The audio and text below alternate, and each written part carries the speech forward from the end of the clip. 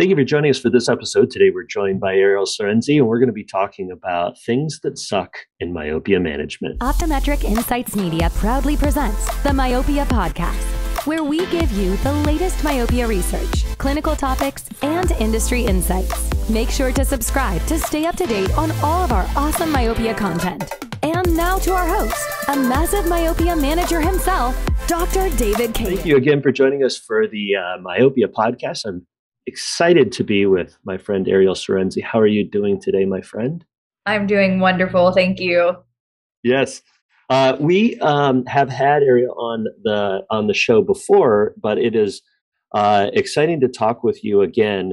Um, tell us a little bit about your practice, what you do is in the world of specialty, and then uh, we'll dive into uh, some t- conversation here. Great. So I am in a uh, private practice in Charlotte, North Carolina. And um, after completing my residency in cornea and contact lens, I knew that I wanted to do a lot of specialty contact lenses. So that is, you know, sclerals, RGPs, orthokeratology, and, and myopia management. So I get to, I'd say probably 20 to 30% of my day now is specialty contact lenses. And I love that so much. I love to have, you know, a mix of nice, normal, routine eye care with, uh, you know, sometimes some of the crazies. yeah. Yeah. Uh, but it's not all wine and roses, right? Uh, specialty uh, practices, myopia management, comes with its fair share of negative. And we focus a lot on the myopia podcast on uh, ways to be more successful. What are the really good things about myopia management? And being that you're such a positive person, I thought we could talk with you about the negatives of myopia uh, myopia management, whether it's a conversation, whether it's the effectiveness of a treatment. What are you seeing as some of the things that just suck about myopia management? Yeah, that is that is something I think is, is so important to to discuss because when you go to these presentations, you know, myself included, I talk about how amazing this technology is. We're going to be changing these people's lives, uh, the projection of their vision. Um, but it does come with a lot of challenges. So, one in particular is, you know, typically the parents that really understand myopia management and are motivated to get their children in myopia management tend to be pretty intense. Um, if I if I open my email for the day, you can almost guarantee that I'll have a parent in there that has bullet points of a million different questions about their child and myopia management. Mm-hmm. I see you smiling, and you probably have yeah. the same thing. Would yeah. you say that you see that yeah. a lot as well? Absolutely. What are some things that you hear from them that are common questions among those those parents? Oh gosh, it's all over the place. You know, um, you know, my child's eye is red. Do we need to come in immediately? Can we can we be seen? You know, right now it's seven o'clock on a Friday. um, you know, she's saying that her vision is blurry. Could this be progression? Do we need to come in? Um, it's gosh, it's just they're very. It seems like they're very. They have a very deep understanding of what you're doing, and so they're usually great questions, but they tend to be pretty intense and kind of have a high anxiety tone behind them. Yeah. Yeah. And, you know, we kind of feed into that, right? We charge them a lot of money. And so they expect uh, a lot of service out of us for it, right? Right. Right. And rightfully yeah. so. That's why we charge what we charge because you know how much extra time those those patients are going to take. hmm and we're charging it because it's a value but also we're providing a service value. And i think that's an important thing for us to keep in mind is but why do you charge so much for myopia management? Your cost of lenses is less than that. So what what are you really charging for? And it's the it's the the service right? It's the the mm-hmm. extra visits that we might have to do. Uh, you, you know we had a, a great conversation with uh, Dr. Chapman about uh, charging per visit or charging a global fee. And there's great advantages to both. But if you're charging a global fee, you might see some patients more often than others. Uh, have, when was the last time you went back and evaluated how many times a year you see your myopia management patients? Have you had a chance to do that? I haven't, and it's definitely something that I should look into and really compare it to, you know, our chair cost and what we're charging to see if it makes sense. So I really mm-hmm. do I need to audit myself and and check that. Yeah. But if you think about a normal routine orthokeratology patient that everything goes perfectly, you see them the one day, one week, one month, six months. And if you're having to do lens changes, you all of a sudden go from four or five visits to maybe, you know, eight or nine. Yeah, could be. You know, could be. Yeah, it, you know, and, and and it's somewhat hard to always track those sort of things. One one of the things that we added in two and a half years ago, I know because I can run the report in my electronic record system, is we have added a service in our electronic record system that's no charge myopia management visit. And so if you okay. come in and you're coming for a follow up, I can always run a report to find out how many of those no charge myopia management visits that we do to find out like what does this really go to? And then i can compare it to the number of fittings that i do and find out what that is. And uh, you know it's it's a good way to kind of track that. And ours is a little over uh, two. It's it's about two and a half to three. We evaluate that and the importance of evaluating that is to look at uh, you know what our cost and our chair cost is just like you said. Because if it's too high then what is is it really worth it for us to do myopia management the way that we do it and I think one of the other big things that that changed for us, and you hit on it, is I used to really target uh, vision with orthokeratology, soft mm-hmm. multifocals, and the importance of getting that patient to have perfect vision. And we know with myopia management, we're trying to slow the progression of myopia, not enhance the clarity of the vision. In fact, we know from some studies that when a patient has higher order aberrations, we may slow down the progression even more. So we right. may want to be inducing some of that, and they may still be able to see 2020, 2025, but it may not be as good. And if you can't get that across to the parent, they're going to be emailing you, right? Right. And that's something that I learned from you um, in one of your podcasts. And I love that because we always talk about vision and that 2020 vision. And actually, today, the reason why I was a little bit late to our meeting today was I had a patient that came in because at their visit with their pediatrician, they weren't a perfect 2020 on the mm. their VA check. And um, I started orthokeratology with them three years ago before I learned your amazing trick. um, and it's just, I think that's so important to talk about. And I love that that um, you mentioned mentioned that previously and are mentioning it again because it, it really is so important. Yeah. Well, we had Randy Kojima and Pat Caroline on the podcast before, and I was listening to them speak at the uh, Academy of Optometry, and and they were talking about how when we get ready to give a lecture, we always go and look for the perfect topographies of the perfect fitting patient and yeah. when you get that patient, you cancel all the patients for the afternoon so you can take pictures and get the perfect picture for your lecture. And then we we get up there and we're like, "Hey, we do myopia management and this is how great it is and this is how perfect it is and here's examples of how I'm, how my fits look perfect." Yeah, the reality is they don't, right? They don't. I do. They, I don't know. yeah, yours too, right? Um, and uh, you know you, you, sometimes just don't have that perfect fit. And uh, the the strategy and the objective here is to slow down the progression of myopia. We know that in the in the in the atropine world and we're realizing more and more that an increase in spherical aberration and we believe that maybe even in coma uh, which is actually a decentered lens could slow the progression more. Now i don't advocate for bad fits, right? Right. Uh, but that's an educational standpoint that we want to hit on. So thank you. What are some of the other things that patients are uh, complaining about or that you find to be a pain in the butt when it comes to myopia management? Yeah. Um, you know, vision is is definitely one of those things that uh, we have to, you know, change yep. change the way that we present it in the beginning. Um, you know, I think the probably the most challenging part of doing myopia management is that initial visit that you have with patients where you're introducing this topic mm. to them and i i made a vow to myself that if i have a patient that is you know a young myopic patient i'm talking about it every time i don't care mm-hmm.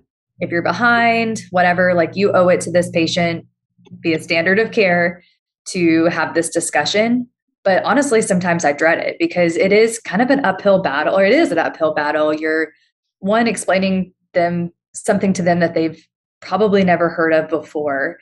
And then you're like oh by the way this is the cost instead of the cost that you are expecting to pay for your routine routine visit and and eyewear. Yeah. And it you know we all hate to be told no you know it's just kind of part of our psyche i guess. And, yeah. and that's um that's probably the biggest the biggest challenge is yeah. getting those new patients what do, what do you no. think I think new patients are really challenging. And, you know, fortunately, many, many of my patients are either referred in or have seen one of the other doctors in our offices. And so what, uh, what we've kind of done is just like a glaucoma patient is we bring up the problem, but rarely discuss the solution at the initial visit. We're okay. going to need to do some additional testing. We're going to see you back. We're going to look further into this. Mm-hmm. Because an eye exam is intended to be just that. Here's what your vision is, here's what your glasses prescription is. And I think the key message here, and we actually have this written on my whiteboard right here in my office, is how we talk to our patients is what are the things that you're concerned about? And using the words, this is concerning to me mm-hmm. and saying to a parent, this prescription is advancing. This is concerning to me because if it keeps going, they won't be able to function as well without glasses or contact lenses. And the higher the risks for disease as time goes on. I want to bring yeah. you back and do an evaluation a little bit more closely as to what's going on here and talk to you about some additional solutions. Now, they're going to have a couple of questions, but that's always where we defer those questions to later, right? And as best as you can within a reasonable. But it is so hard because it's completely foreign in that first conversations. And I find that trying to cram it all in, mm-hmm. I hate it and uh, yeah. like you, it makes it so difficult. So, the vast majority of the time, bringing them back for a myopia consultation, bringing them back for a glaucoma consultation, a dry eye consultation is, is taking away from that eye exam and getting that additional visit for them if possible. Yeah, but and you're and you're definitely not as effective when you're trying to explain it all in one, but you have to be effective enough that they see the value in in coming back. Yeah. Yeah. Yeah, and and and it's ultimately up to them. And you're right, but that makes it more challenging, which is why I think a lot of people don't delve into myopia management right away, right? It it makes yeah. it a lot harder. I think one of the other things is that that I think about myopia management that it really sucks is that you don't do well in myopia management unless you dive in with both feet. Mm. And uh, why I say that is because if you're running between eye exams and medical office visits and you're doing mm. everything and you're rushed, you kind of don't get into a flow of how to say what to say. And your natural tendency is to go to easy, which is here's the change to your prescription and glasses. Let's see next year if it progresses again. Right. We we actually know what's going to happen next year. We've got enough data, right? Exactly. Yeah, I am. So I'm a rambler. I I will ramble on and on. I get it from my dad, and um, I actually developed a script where I I put in bullet points exactly the points that I wanted to come across to patients, and I've learned to customize that based off of how the the parent is. You know, are they an engineer or do they just want kind of you know high level information and no details? And that's been really helpful for me to stay on track kind of like basically the script that that you said you know i see something here that concerns me. That's part of my verbiage too. I specifically say the word concerns. Um it makes me feel better that it was smart because you do it. Oh please. You're like one of the smartest human beings. Um but I, I also do the plus lens trick that you know is pretty popular in the myopia management world. And i i find that that more than anything that i say has been really effective in them being like wow i had no idea that they saw that way and and i like to project it out not just the following year but what i would estimate they would be three four years down the line and say you know, gosh, if this continues, this is what their vision will look like in three to four years if we don't do anything other than prescribe glasses like we've done in years past. Yeah. Yeah, those demonstrations really mean a lot. And my wife does binocular vision and vision therapy. And uh, that's so helpful when you can demonstrate something of what the parent or the child is going through, particularly if you can make things double for them and, and demonstrate how the child is just trying to have to push to be able to see um, I think that's really key. You said the plus that everybody in myopia management does. You're presuming that we all do it and know what you mean. So just describe what you do and how you go about it. Yeah. So let's say that they were a minus a quarter the previous year. Then I grab a plus quarter lenses. Uh, their new prescription is a you know minus one. I grab my plus ones, and then say say they're seven years old and I know that they're going to be a, a aggressive progressor, then maybe I estimate that in three years, four years, they're a minus two. And that's kind of, you know, being conservative. You could also pull up some of those um, calculators, though they are, they tend to overestimate. You could look at what it projects their their prescription to be three, four years down the line. So you take those plus lenses and you show the parent last year this is how they saw the world and put the lenses over their eyes this year this is now how their vision has worsened and this is how they see the world mm-hmm. if we continue to prescribe glasses like we have you know previously or last year this is what their vision will look like three to four years from now this is how their mm-hmm. world is going to change and can you imagine seeing yeah. the world like this? Can't imagine it. Yeah. What also you can do is you can start with allowing the parent to see the 2080 line through the, and then have them close their eyes. And when they put the higher prescription, show them the 2015 so they really can't see it. That helps prove your point too. see so bad i'm just i don't do that i don't do that but um i so kind of along that point i did i i kind of um found through my own experience that it was much more um powerful to show them outside just have them simply step outside the exam room and look at the office uh, so things that are far away versus when you're in a smaller exam yeah. room doesn't seem as impactful because they're looking at things intermediate distance and it doesn't seem as bad yeah. as when they can look at something truly far away yeah no I, I agree totally we we venture outside the exam room a lot and that really helps helps with that as well. Um, things about myopia management that uh, that kind of suck uh, is how expensive it is. Right. Yeah and um like like we were discussing you know how you discussed previously with um you know absolute um, you know the docs that are just absolutely crushing it in the myopia management like andrew neukirch he doing that subscription model i think that that is so genius and we've we're doing something a little bit different where we're rolling out a, a monthly and uh, TBD on how that's going to go. But I've had some doctors when I've, you know, gone to these conferences talk about how say that say just for number's sake, their global package is one thousand dollars.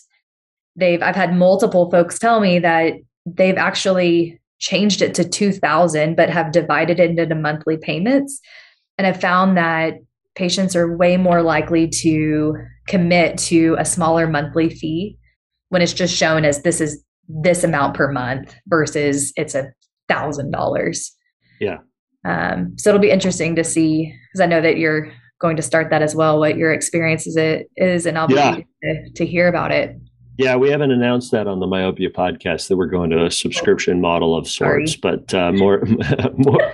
Well, I'm announcing it, so more to come on that as well, and we'll see see how it goes. But because it is so expensive, you have to find ways to bring value. And we had a myopia podcast where we talked about having a myopia coordinator, right? And many of us, I think, just kind of allow everybody in our office to kind of be the person who talks about everything, right? Maybe it's your optician and they talk about lid scrubs, warm compresses, omega 3s. They talk about macular health issues. They talk, you know, and, and then they talk, and, but having somebody in your office, if you're really dedicated to this, who is the person to go to, we have that in our uh, our vision therapy. We have somebody who's kind of in charge of that, and you know, you have it for your glasses and uh, once you get into generating reasonable money in the myopia space, it is worthwhile to have a myopia coordinator and is that person who you can go and talk to. And that person can share that value so that it's not necessarily just on the doctor, because we don't sell contact lens years supplies. We make our recommendation and then a team mm-hmm. kind of closes the deal it's important to have that sort of thing as as we grow in our myopia management i think as well. Yeah. for sure. Yeah, yeah Any, totally anything agree. else at forefront of your mind about what sucks about myopia management? I would say that those really are those really are the main things.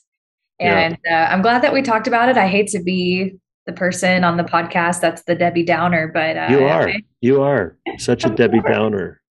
Negative nancy right. Well uh, anybody who knows you knows that that you you tend to find the positive in things all the time. So this is a this is a good turn of events for you. This is good. Well, so glad everyone can see me in a in a negative light. Yes yes. Well thanks for being on the podcast. It's always an honor to get to hang out with you. Um, any closing thoughts or excitements or anything? Um so I am super duper pumped. We just purchased a Pentacam AXL and it's mm-hmm. just going to be an absolute game changer. I feel like we have arrived. I feel like we are elite status now. so yeah. yeah. well, if you haven't currently so been doing it, you know, the, the great thing about this is it changes your myopia, your scleral, your, you know, all the different aspects of your practice. You've now got uh, axial length, which really can change things if you weren't doing that before. Uh, so yeah, it is yeah, it is we, an excitement in many ways, I'm sure for you. We we had um, biometry before, and I'm so thankful mm-hmm. that we did because it it does it's a game changer with your yeah. management of myopia management. But I'm I'm stoked for the scleral topography side of things and just being able to look at the posterior cornea. Oh gosh, yeah. I don't have to send out for that anymore for monitoring my keratoconic patients for yeah. Yeah.